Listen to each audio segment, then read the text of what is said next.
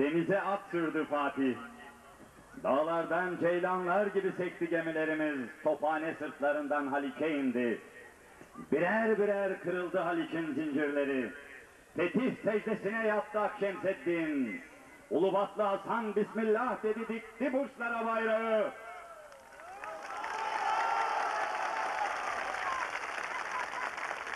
Şimdi İstanbul, Konstantinopolis değil İstanbul oldu.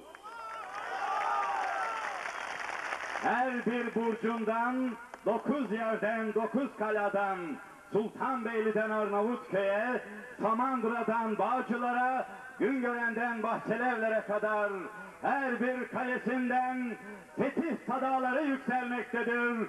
İnna fetahna leke fethan mübina.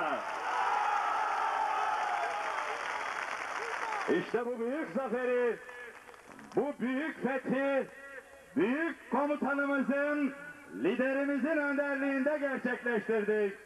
Alın size lideriniz, alın meydanlar, alın İstanbul, alın Türkiye, Türkiye merhaba. İşte Erbakan, işte meydan.